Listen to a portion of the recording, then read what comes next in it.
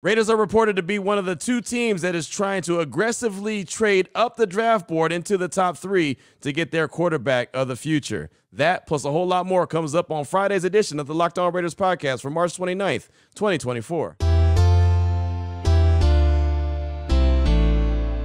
Just win.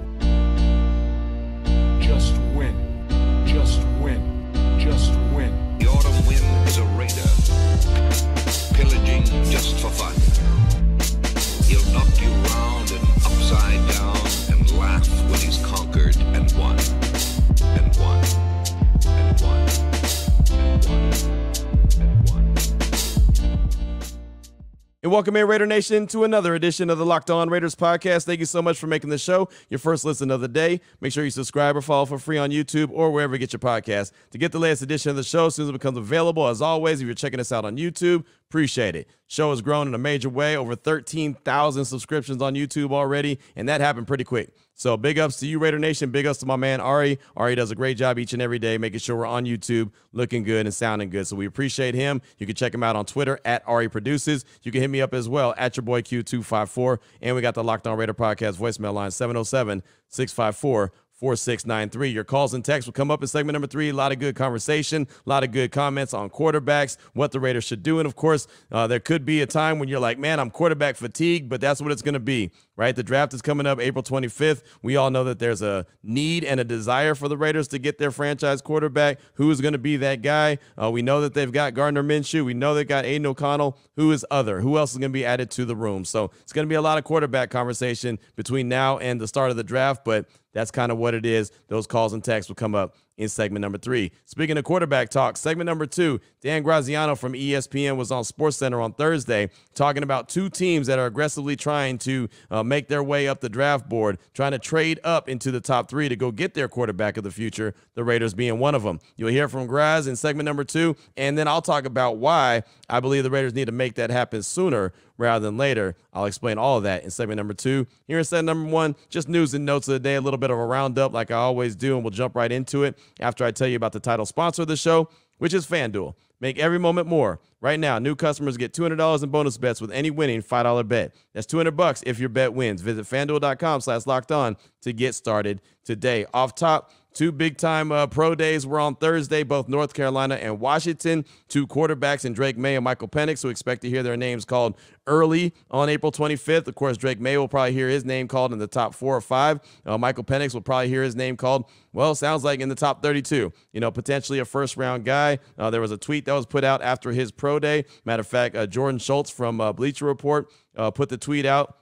Following his pro day, in Seattle today, the Giants are one of the several teams that have a pre-draft visit set up with Washington's quarterback Michael Penix. Penix is also scheduled to meet with the Broncos, Raiders, Steelers, and Falcons as well. Uh, unknown NFL head coach said today of Penix from his pro day, locked in first rounder. So, I mean, you take it for what it's worth. Uh, apparently, he ran really well. Uh, there was a report that he ran a 4.46 40, but then uh, other reports were saying it was a 4.56. I had a guy that covers Washington on my radio show, and he said I didn't have the exact time. I actually had him at a 4.6, but that was based off of me and my phone. So, uh, sounds like he ran really well. I know he did a vertical jump really high, showed some athleticism, which of course has been a question. Is Michael Penix, does he have that athleticism? And it's funny, he actually tweeted out on Wednesday just because I don't have to run, don't mean I can't run and I'm not athletic. The real ones know, LOL. That was from Michael Penix on Twitter on Wednesday. And so he showed off some of that athleticism. If you listened earlier in the week, you heard that uh, conversation I had with TJ Houshmandzadeh, former NFL wide receiver, and he said, hey, the dude is more athletic than people think.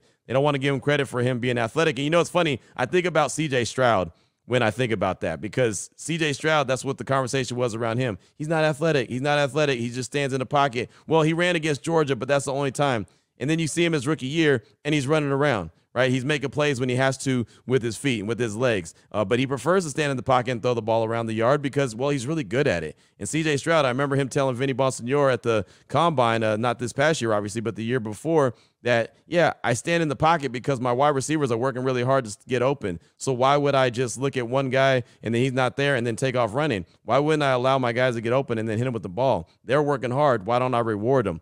Michael Penix is doing the same thing. And look, I'm not saying that he's, you know, uh, Jayden Daniels like like he's going to run around the yard like that. He's not. But just the athleticism that he showed. I don't know if you saw him actually run the 40. I saw him. He, he, looked very good doing it, especially a guy coming off multiple ACL surgeries and that jumping out of the gym pretty much uh, looked pretty fantastic. As far as uh, Drake Maye went, he looked good too. You know, from all accounts, he was throwing the ball around the yard, had some of the prettiest passes out there. Uh, lots of good stuff coming out of North Carolina's Pro Day when it comes to Drake Maye. I didn't get to get a guy on uh, my radio show covering North Carolina's Pro Day. I'm going to try to do that. Hopefully, I can get someone on later on today and give you some more details. Uh, but I did get someone on from Washington, so I have a little bit more details on their Pro Day. But I'm definitely working on North Carolina's because I want to make sure I get all the details I can on Drake Maye. Also, Joe Milton from Tennessee, he had his pro day a couple days ago. He's going to be visiting the Raiders on a top 30 visit. So uh, I don't know uh, what they see in him right now, like if they what what they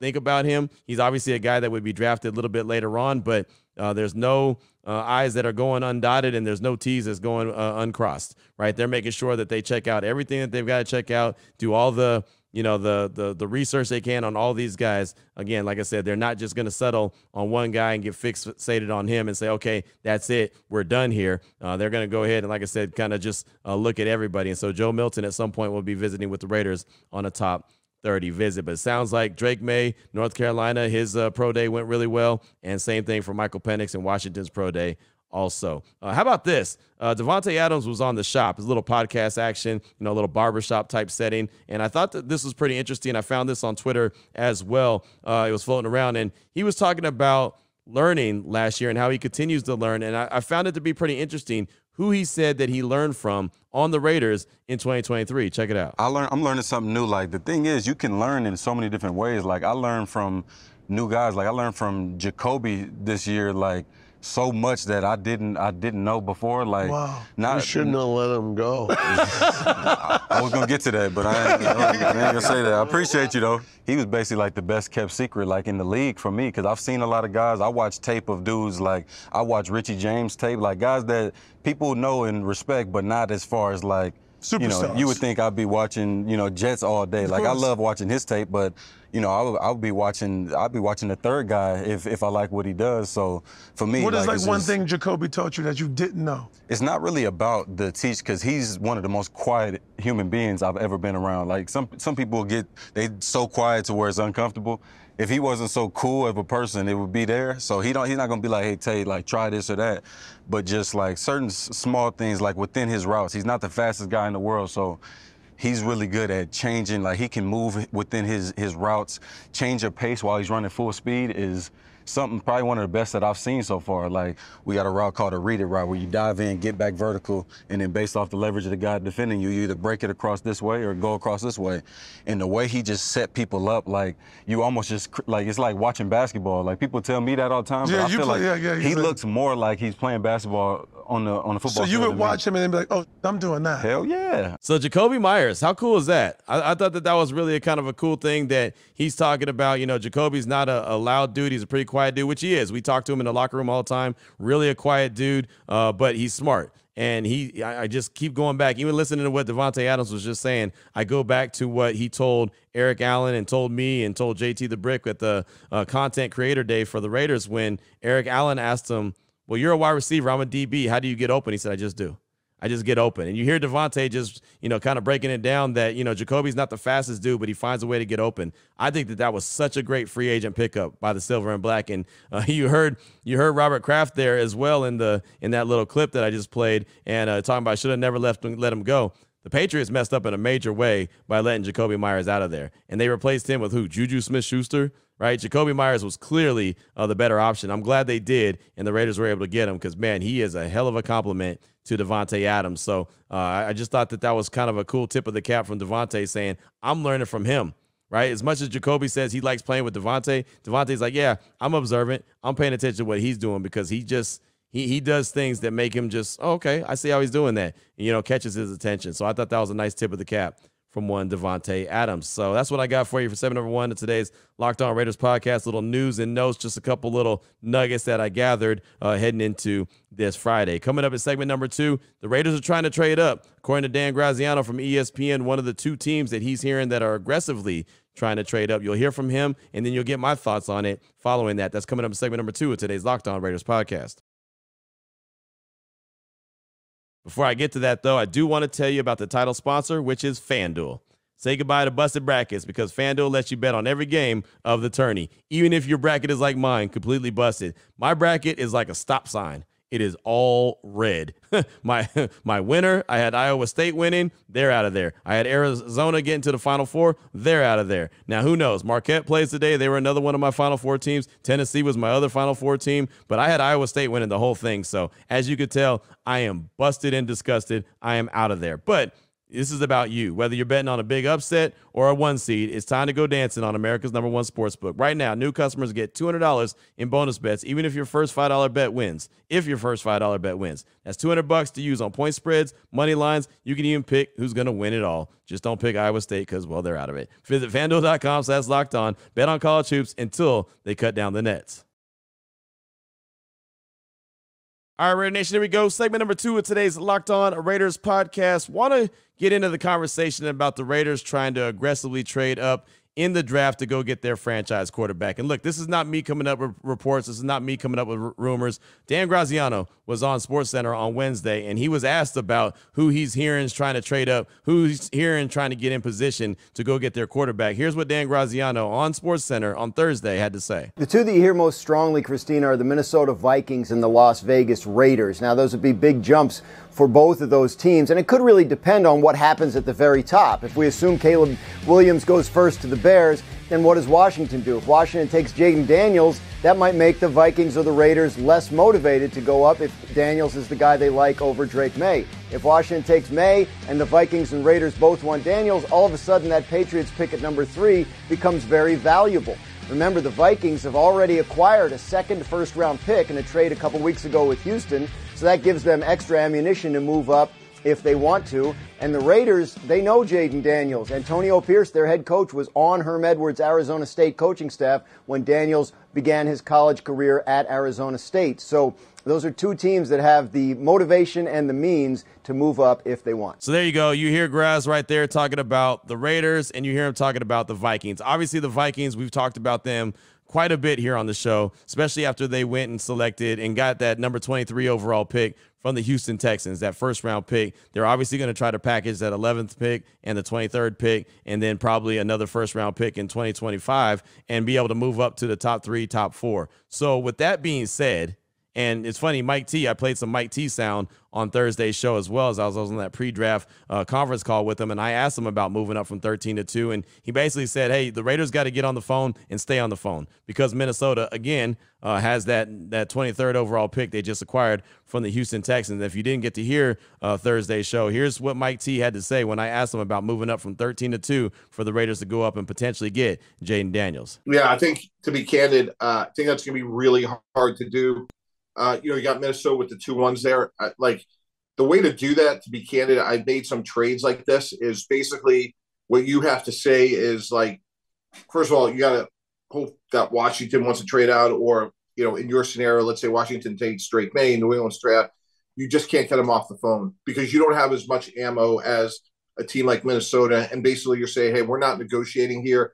We're paying the bill. Tell me what the bill is, and that's going to be you know three first round picks, which is you know you could do three, you could trade three years in advance, so it would be three number ones, and then you know they may look at the roster and say, hey, we want another really good young player, um, and and and really go from there. And you know, candidly, like who would that be? Like it may be Davante Adams, it may, it may not be. So, but if I'm the Raiders and I want to go all the way up, it's going to take at least three first round picks, especially competing against Minnesota this year. So there's Mike T. You heard Dan Graziano, and I think that the Raiders need to do it sooner rather than later. On my radio show on Thursday, someone called in and asked, Well, Q, do you think that they're going to wait until draft day to make a trade, or do you think that they'll try to do it ahead of time? And I think that they need to do it ahead of time. And I don't think that they need to get to number three. If you get to number three and you're the Raiders, and it's it's a big if, right? There's no guarantees that they can move up at all, right? Because you have to have a trade partner. Like you can want a lot. I want a lot in life and doesn't mean I'm going to get it just because I want it, right? The Raiders could want to move up, and there's no doubt about it that they want to, right? There's no doubt about it that Antonio Pierce wants Jayden Daniels to be the quarter of the silver, the, the quarterback of the silver and black. There, that's a no-brainer, right? We all know that. But again, just because they want to doesn't mean it's going to happen. So my answer and my response to, you know, what are they going to do? Are they going to wait till draft day? Or are they going to do it right away? I think that they have to do it right away. I really do because if you wait until draft day, this is multiple scenarios could play out. One, the price is going to go, it's going to skyrocket, right? If all of a sudden the Bears pick, you know, Caleb Williams at number one, and then Washington's on the clock, and then the Raiders are picking up the phone and calling, and then Minnesota's picking up the phone calling, all of a sudden, now you know, okay, these teams definitely want this draft pick. Okay, not only is it three first round picks, but now it's two twos and you know a, another three or, or, something. Like all of a sudden because it's the last minute you only have so much time so you don't have time to dance around. Kind of like what mike t said okay i'm not even to negotiate. I'm just to pay the price. I'm just here to pay the the cost whatever that is. And i don't think that that's a good way to go because the vikings have more to offer right now that the that the raiders don't have. They, they have two first round picks in uh, in 2024, which is better than the Raiders number 13 overall in 2024. You can get two first round picks and then some. You're you're, you're going to do that more times than not. So I think that the Raiders, if they can do it, if they find a way to get up there and get in that conversation, they've got to do it sooner rather than later. So they already know. All right, we've got this. We've got this locked in. We're good to go. Not to mention, you don't want to trade to number three. And I've been saying this since the combine. You got to trade to number two. If you wait and you get to number three, there's a chance that your number your your guy is not there, right? There's a great chance that Jayden Daniels is gone uh, at, at, two, right? And and look, I know there's people talking about him gone at number one. I think that Caleb Williams uh, is going to still go number one overall. I don't see, I just don't see Jayden Daniels jumping him for the number one quarterback. I mean, I guess I guess there's a chance of that. And if that were to happen and the Raiders are sitting there at number two, then I guess they'd have to take Caleb Williams. I think that'd be the next best option. But there's no doubt about it that they want to get Jayden Daniels. I just think that they've got to solidify their spot now. You can't, and I had a, a guy, uh, Raider 66, call in my radio show and say, uh, yeah, I'd be disappointed if the Raiders traded up, gave up the farm to get to number three and still didn't get their guy. Like that, that's why number three can't be the target. Again, I, I did a whole show on the podcast at the combine when uh, you know when I was told, Q, if the Raiders want Jayden Daniels, they got to get to number two. I, have been saying that ever since I was told that at the combine by someone that I really believe in, someone that I know knows his stuff, right, and and is not going to just you know throw something against the wall and hope that it sticks. So as soon as he told me that, I've been ever I've been stuck on that number two, and there's no there's no slowing that down now, right? That train is not slowing down anytime soon. I believe that uh, you know Jayden Daniels will be the number two quarterback taken, whether that's by Chicago, whether that's by Washington, whether it's by the Raiders, whether it's by Minnesota, like whoever is in that number two spot that wants a quarterback, I think they'll take Jayden Daniels. I, I, think it'll go Caleb Williams, Jayden Daniels, and then probably Drake Maye. I know this conversation about JJ McCarthy possibly going number two. I just don't see it. I could be wrong. I'm not a draft guru. I'm not a draft expert. I'm not an insider, but gut feeling, which is what I always go off of, tells me JJ McCarthy's not going to go number two. So, you know, I know that Dan Graziano, you heard him say that, uh, you know, things could change for the Vikings and the Raiders if uh, their guy doesn't happen to be there when they go to select. But again, I don't think the Raiders could take that chance. If they're truly 100% in on going and getting their guy, and I do believe from a lot of different conversations I've had, I do believe that they're very aggressive uh, trying to go get their guy. I don't know if you saw uh, Davante Adams on Instagram. It was kind of floating around on Twitter as well, uh, where he had a, you know, part of his story was Jayden Daniels saying, uh, "My resume is on the grass. My resume is already out there." Right, and it's funny because that's the same that's the same line that that uh, you know Antonio Pierce said when he was trying to get the job. Well, my my resume is out there on the grass. my resume is on the field. And now Jayden Daniels said the same thing. My resume is on the grass uh, when he was talking to uh, you know talking to Cameron Wolfe about you know why he's the best the best quarterback in this draft. So uh, I I know that they're aggressively trying to get him. Like I know that for a fact. Again, doesn't guarantee that they're going to, but for my money, they need to be able to find a way to make a trade if they're going to make a trade before the draft. They cannot wait till April 25th. I think if they wait till April 25th, it's just going to be way too much. The tax is going to be high, right? It's almost like you know when you uh, when when you go into a store and you have to buy something instead of buying it online, uh, they might just give you like a service charge. If they wait till that the day of the draft, there could be a service charge that goes along with you know the price of making that trade. So I, I just again my gut feeling tells me if they're going to do it, it has to be done sooner rather than later. So there's no questions asked. So a team like Minnesota can't get in there and you know kind of get wiggle some you know elbow room and and and and push them out, squeeze them out of the position that they want to be in. But right there, it's not me. You heard Dan Graziano say the two teams that are really aggressively trying to move up the draft board and get in their position are the Vikings and the Raiders. So we'll see what happens. Every day is a, another interesting day. I'm still waiting to see some kind of big report from Schefter or Rap Sheet or one of those that says, oh, we have a trade. Trades can happen at any given time. That's what I got for you for segment number two of today's Locked On Raiders podcast. What's on your mind? 707 654 4693. Your calls and texts come up next in segment number three of today's Locked On Raiders podcast.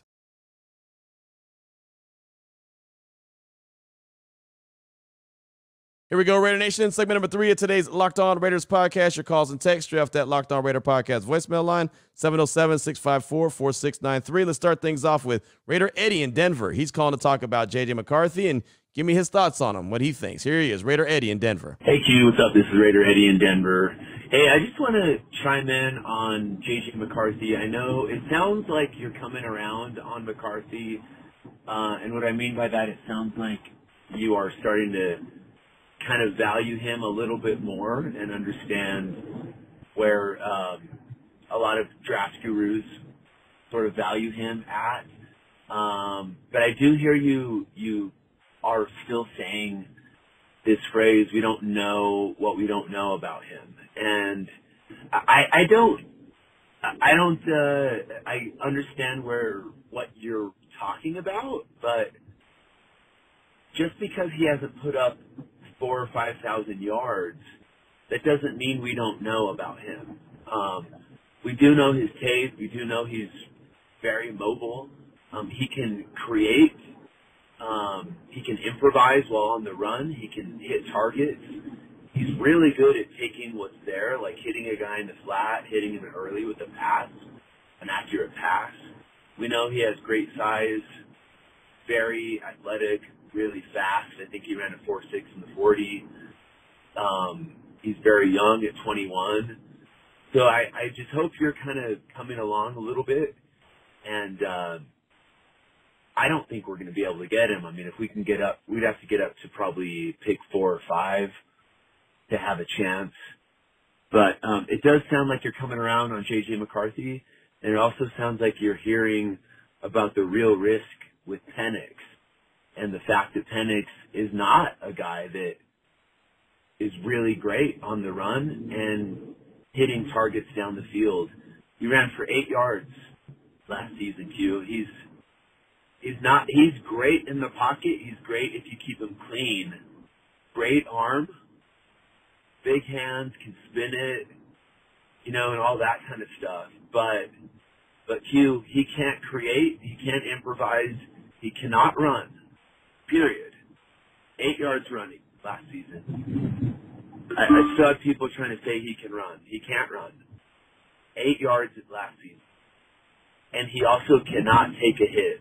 If you watch his tape, he will slide, he'll throw the ball away, he'll even throw the ball up for grabs.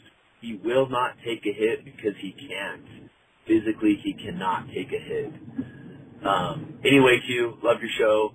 I'm happy to disagree and uh, listen to the conversation. Thanks. Thank you for the call, my man. I appreciate you. And it's not that I don't want to give JJ credit and not that I'm coming around on him like too much. I just, again, I don't know if I would pound the table for a guy that I'm just not 100% sure about. And what I mean by that is I don't know who he is consistently. One of the things that has always stood out to me that a coach said to me one time is, Q, I don't care who a guy is once in a while. I care who he is consistently.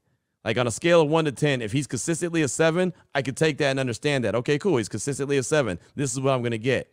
But you don't want a guy that's a 10 and then a four and then a seven and then a three and then a nine and then a two. Like you don't want a guy that's all over the place like that. Who is he consistently? And that's the answer that I don't have when it comes to JJ McCarthy. If you go back and look at what he did in 2023, he had seven games where he threw for 160 yards or less. He also had seven games where he threw for 280 yards or less. And, I mean in the 200 range. And then he had a game where he threw for 335 against Purdue. Like, who is he consistently? Is he the 280 or less guy where he's still in the 200s? Is he the 160 or less? He had one game where he threw for 60 yards. You know what I mean? Like, who is he? Again, I'm not trying to discredit him. I know that he won a lot of games. I know that they went on an amazing run in his career there at Michigan. He has an amazing winning percentage. He's a national champion. Winning matters. Absolutely, 100%. I just don't know who he is consistently. And I'm not going to pound the table for a guy that I can't tell you who he is consistently, who I think he is consistently. That's just me. As far as Penix, I like him a lot. I think he's more athletic than you're giving him credit for.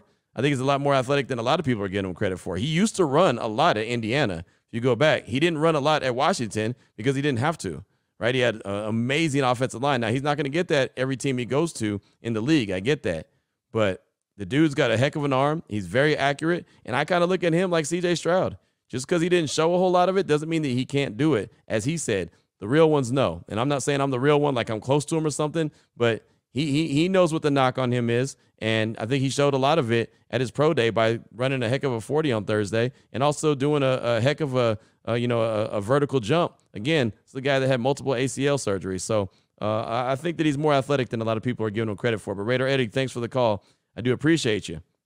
Up next, I got a text from Raider Ang. Says, Hey, Q, what do you think about this? This is what I'd like to do. I like to get the top right tackle or cornerback, Alpha, at 13, then offer the 14th pick, Saints, the 44th, 77th, and 112th, which is the second, third, and fourth round picks for trade. It'll be worth it to have Fuaga and Penix, baby. Who cares about the rest of the picks? So there you go. You want uh, a top right tackle in Fuaga and then uh, Penix. So there you go. Okay, so you want Michael Penix and you want a guy uh, to protect his blind side. And that's the big thing, man. If you get Michael Penix, you got to make sure that that right side of the offensive line is solidified because that is his blind side. On, you know, unlike a normal quarterback, a right-handed quarterback, where the blind side would be the left side. So, uh, yeah, that's that's something that's got to be taken care of. And, you know, Penix is a guy that is so intriguing to me. I don't know if he's going to go 13. I don't know if he's going to go later in round one. I don't know if he's going to drop to round two. I just don't know – where he's going to go. I don't know what the true evaluation is on him. I just know he has a heck of an arm. If he has a really good run game, which he did not have in the national championship game, that's part of the reason why Michigan, you know, beat the brakes off of him. He wasn't able to do anything because Dillon Johnson was really banged up with that high ankle sprain. He still, even at his pro day on Thursday, still wasn't 100%. He said he was about 75%.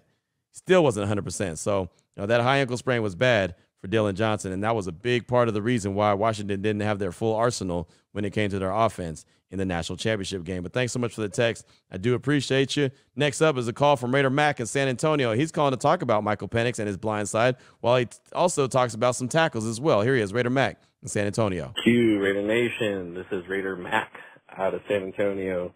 I just got done listening to the Thursday episode of the podcast where um, you were talking with Mike Tannenbaum uh, about uh, Michael Penix as well as trying to find a good uh, right tackle for his blind side.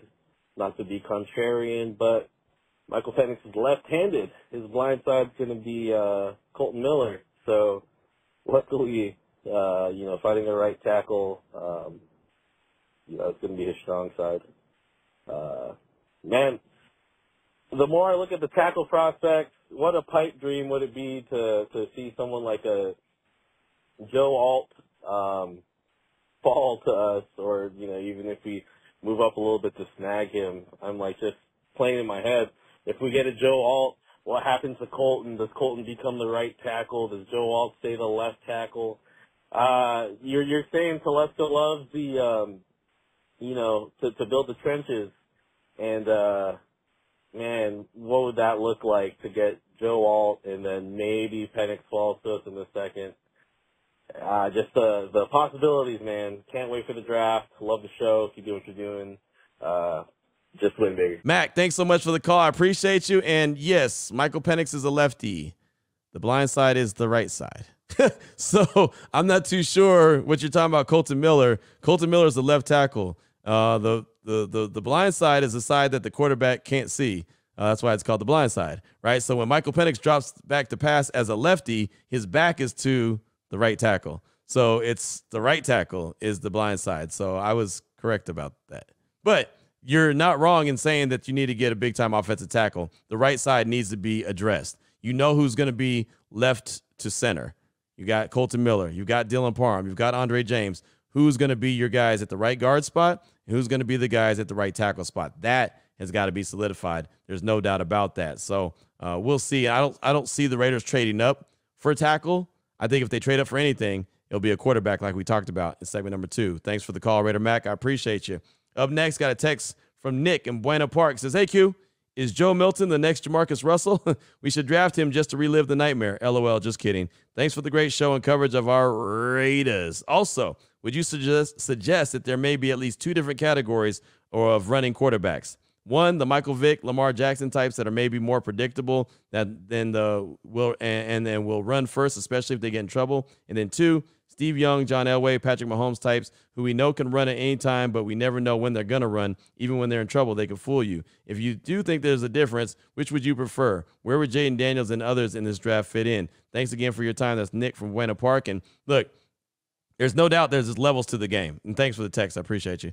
There's different levels to the game as far as a quarterback that can get out of trouble. And that's all I'm looking for. That's what I've been pounding the table for. I'm not necessarily saying that you've got to have a guy that is Lamar Jackson like. Like I'll say that Jayden Daniels has legs like Lamar Jackson. There's no doubt. You know, the, the Michael Vick, Lamar Jackson. I think that Jayden Daniels has a much better arm than Lamar Jackson has. And that's not me sliding Lamar Jackson. I just think Jayden Daniels is that much better with his arm than Lamar Jackson. You know, and then there's other guys, as you mentioned, like the Steve Youngs, the Patrick Mahomes, the John Elways. Patrick Mahomes is a guy who wants to throw the ball around the yard, but he has no problem running if he has to, right? Mean, because he, he knows what it takes to keep plays alive. He can do that. But then there's other levels to it as well. You know, I mean, you look at some of these quarterbacks in the upcoming draft, like you know, like a, a Bo Nix and a J.J. McCarthy. I mean, they they can get out of there. They can they can do what they they need to do. You know, as far as picking up yards with their feet, they can do that. And even other, even Gardner Minshew to a certain degree. I mean, not really, but he, he's he's mobile enough to you know back up Jalen Hurts. He was mobile enough to back up Anthony Richardson. He was mobile enough to back up like Trevor Lawrence, right? I mean, there's there's different levels to it. I mean, being a mobile guy being able to use your your your legs and having the willingness to use your legs comes in many different shapes and sizes. Jayden Daniels is an extreme, right? He's an extreme weapon. He can run, he can throw. You know, the only thing he's got to do is be careful with taking hits, right? Because he took a lot of hits at LSU that'll get knocked out the league. You can't do that. But there's there's you know just different different levels to it. You know, even like I was talking about Michael Penix, he's more athletic than people give him credit for. You know, and, and even like think about Derek Carr. Derek Carr used to run until he broke his ankle. Once he stopped, once he broke his ankle, that really stopped. But you remember going back to his rookie year and his, his first couple years in the league, he didn't mind taking off with his with his feet. You know, he he he was willing to do that. And then after he broke his ankle, it was a wrap. There was no more that he was doing of that. So it's just there's different levels to it. I just want a guy that's willing to get up out of there. A guy that has to, you know, if there's if there's four, five, six, seven yards, even Rich Gannon. Remember what Rich Gannon used to do? You know, he'd see open grass and go pick it up. That's just just you gotta ha- you gotta have that. You know, you just can't have a guy that's that's anchored into the ground there. You just can't, in my opinion, uh, especially now in 2024. Uh, you just got to have a guy willing and able to make a few moves here and there. Uh, thanks for the text, my man. I do appreciate you. Up next, and I got time for a couple more. Raider Guru in Vegas. He's calling to tell me what the Raiders will and will not do. He's got the whole thing figured out. Here he is, Raider Guru out of Vegas. Hey, Q, this is Raiders Guru in Las Vegas. I just want to let you know that the Raiders are not going to trade up. The Raiders do not want Jayden Daniels, and they do not want a mobile offense.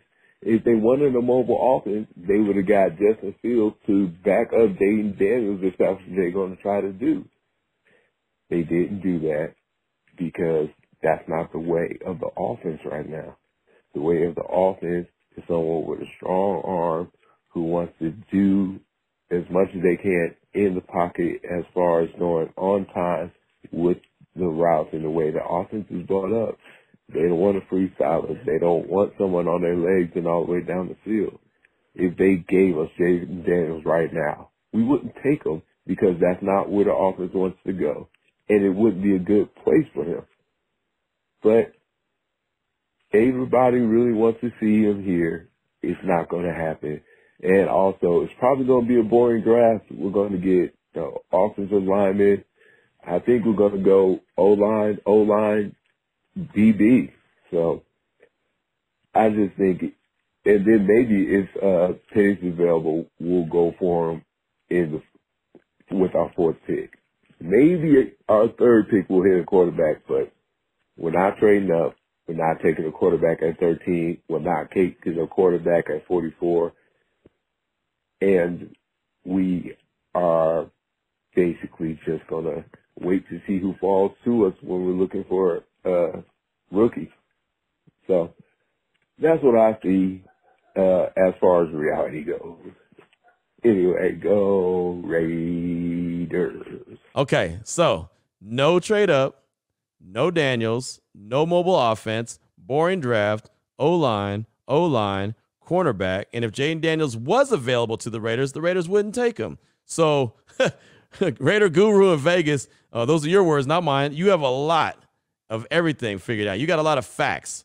I should have hit you up a long time ago, man. I don't know what I've been playing around with all this conversation for. If uh, you've got it all solved from the begin from the get go, what I need now, I need you to give me the Powerball numbers because I know it's close to a billion dollars. So since you got it all figured out, let me get the, the the Powerball numbers. Also, since you're in Vegas, can you meet me at GVR? Let me know when the triple double diamond machine is going to hit, so I don't waste money putting it in. Tell me, all right, it's going to hit now. Then I'll go for there.